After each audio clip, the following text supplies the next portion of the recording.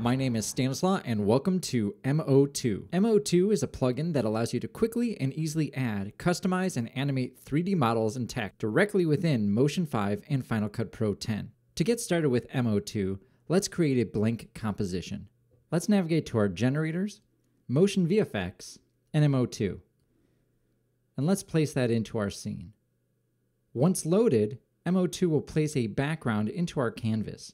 To activate the camera controls, let's right click in the canvas and select Control, or in our Tool panel, navigate to Adjust Item. This will activate the different modes, different cameras, and camera settings in MO2. Let's collapse that for right now. In our inspector, we can see that MO2 consists of scene settings and scene content. In our scene settings, we have environments, backgrounds, and render settings. Let's go ahead and move down to our scene content. By default, we have a default camera in our scene. Let's go ahead and add an object to our scene. To add objects to our scene, let's select our Add Object button. From here, we can choose specific models, 3D text, instancers, lights, nulls, and cameras.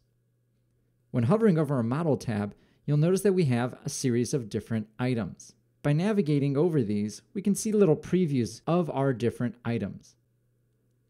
Let's go ahead and start with adding 3D text. By selecting 3D text, it will place a default 3D text into our scene. In my scene content, I can see that a text item has been added, along with the parameters for that text item. By navigating down to the extrusion settings, I can go ahead and change this if I choose to. Any changes in your text will be reflected immediately. From here, we can choose our different fonts, font styles, and other text parameters. Clicking on the Style button will launch the Text Preset Style Library. From here, I can choose different styles, and by clicking on them, it will apply them to my text. Let's navigate to Plastic. Select OK to confirm your selection. Let's adjust this text a little further. By using the Extrusion Depth slider, we can set a specific depth for our text. Adjusting the weight will increase and decrease the amount of depth each layer has in our text. The bevel weight slider will adjust only the bevel of your text layer. Lastly, I'm going to move my tracking and just give this a little bit more space. Now that we have text in our scene, let's go ahead and give it a plane to rest on. I'll navigate to my model, my primitives, and plane. Once I have my plane in my scene, let's navigate down to the primitive settings. Our primitive settings are going to be adjustable per primitive. I can see that it's intersecting my text here, and what I want to do is lower this. So what I can do is move to my basics, and my basic control will affect the position, scale, rotation, anchor point, and animation. In this example, I'm adjusting the Y position of this plane. Now that we have a plane for our text to rest on, let's apply a material to that plane. To apply a material to an object in our scene, click the Add Material button. Just like previewing our 3D objects, we can navigate to the various different categories and review our different items. To view available materials with larger images, select From Library.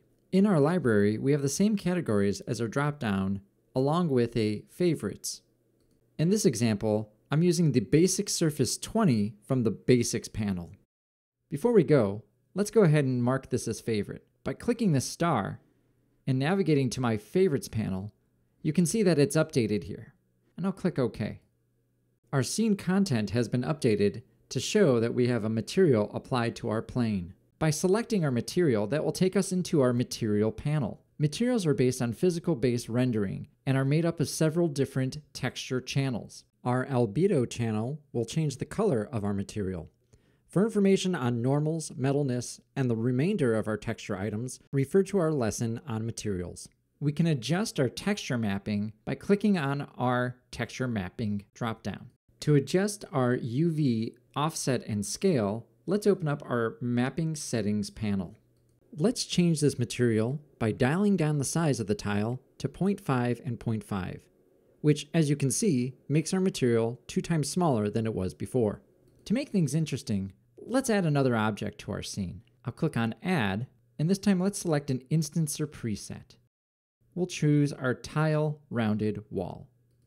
In our scene, you can see that it has a default material applied to it, and we have a new item in our scene content. Our scene content is comprised of a tree of different items. For example, if I open up my tiled wall, we have an arc instancer. Inside our arc instancer, we have a cube, meaning that this tiles rounded wall object was built first by replicating a cube using a radial instancer, and then replicating the resulting arch a couple times by placing it within a linear instancer.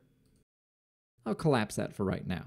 Now that we have our scene, let's start working with this control panel. We have two main modes in our canvas control panel. We have our beauty mode and we have our construction mode. Beauty mode is meant for viewing and tweaking the final render. When enabled, all post-processing effects such as depth of field, motion blur, AO, etc. will be calculated and applied to the rendered frame.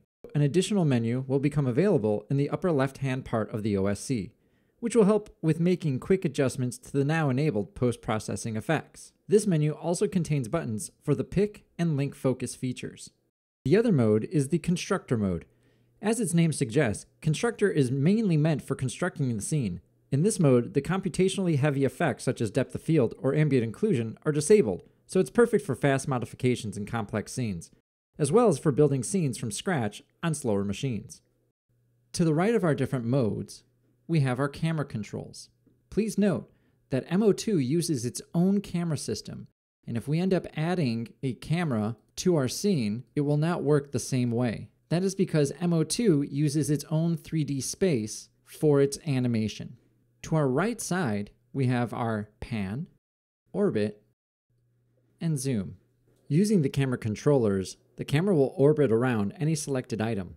If nothing is selected, It'll orbit around the center of your scene. Let's line up our scene using these camera controls. When clicking on items directly in our scene, they'll become highlighted and a 3D gizmo will appear at the anchor point of the selected item.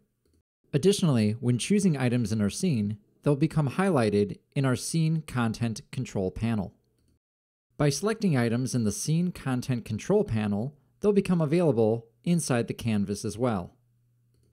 To see an object completely inside of our canvas, let's select the Frame Object button located next to the camera controls. This button is meant for positioning the camera so that the current selected object fills the screen. Now that we can see our mesh entirely, let's adjust it using the 3D Gizmo controller.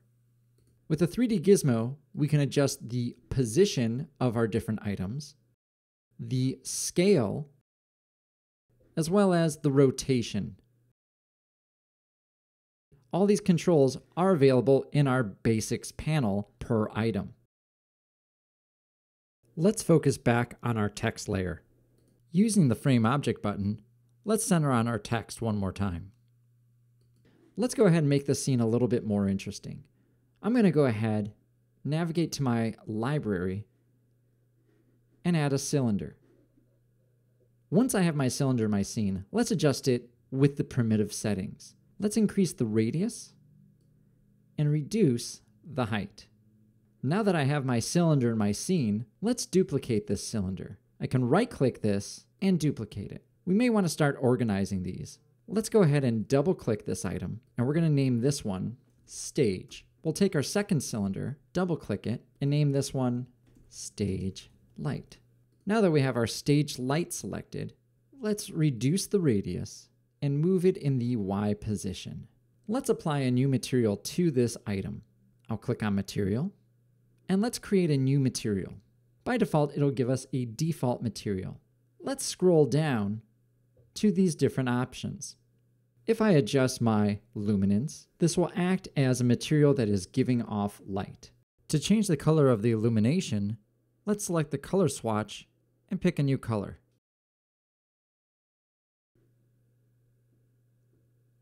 Let's apply a material to our stage. I'll click on my stage, add material, and we'll add another one from the library. This time, I'm going to add basic surface 16, and I'll hit OK. Once here, I can adjust this material further. For example, let's make this a little bit darker. At any time, I can jump back into my beauty mode to see how things are shaping up.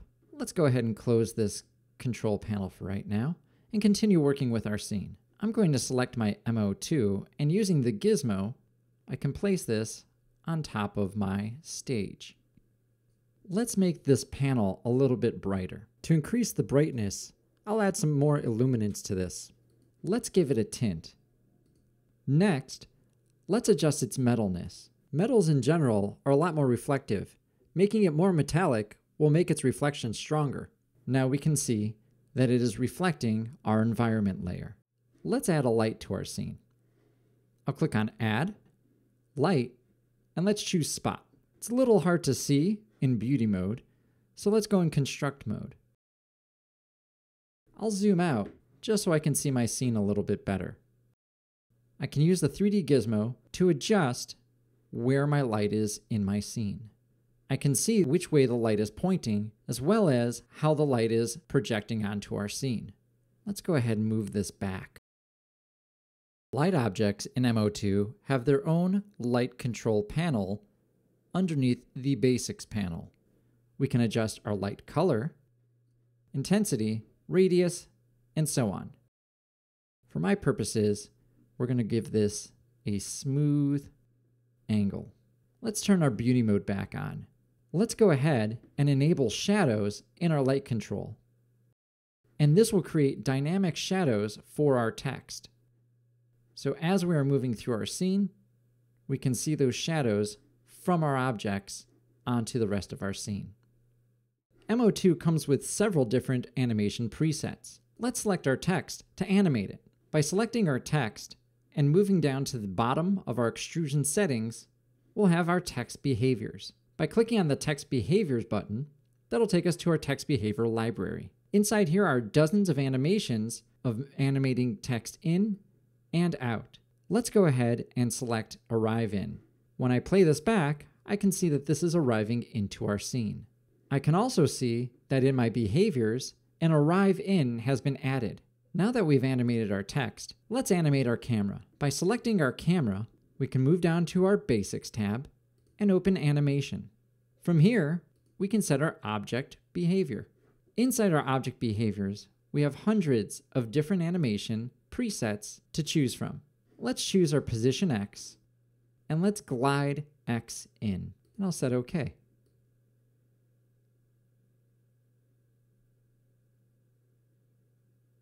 To adjust the duration of this behavior, we'll move down to the Duration tab underneath our animation. In addition to behaviors, we can also set manual keyframes for our different items. Let's animate the rotation of this camera as it's moving into the scene.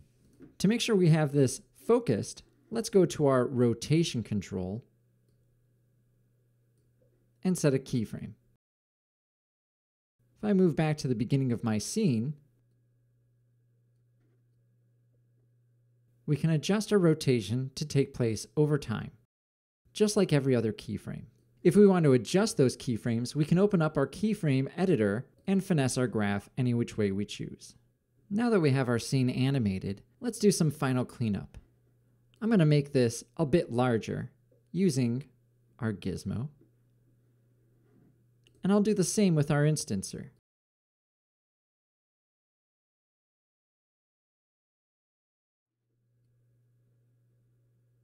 If we want to change our framing, we can still adjust our camera and our rotation, and our behavior should still work accordingly.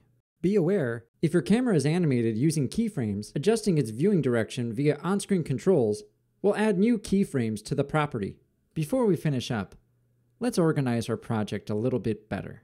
Let's add a null to organize some of these different items. By adding a null, we can place several different items by dragging and dropping them to create groups in which items can be all moved together. As an example, we can either move our text independently, or by using the null, we can move the entire group all together. This will not affect the original properties of the different items. Using the beauty mode, let's add some post-processing effects. Increasing the focus amount will introduce more focus blur. we can use our pick focus control to selectively choose which areas that we want in focus while leaving other areas out of focus. So we can quickly and easily change our focus plane depending on what we have in our scene. That's probably a little too much defocus, so let's pull that back. Previously, we've applied object behaviors to single items, but we can also apply object behaviors to entire groups. To demonstrate this, let's select the null we created just a moment ago. If I move to the bottom of my Basics tab, you'll find I have my object behaviors. I'll click on that. Let's choose an animate out of mixed. I'm going to choose land out. You'll notice that my animation starts at the beginning of the timeline. To have it start at a different time, let's select the time we'd like it to start and start from current frame. Let's try that again.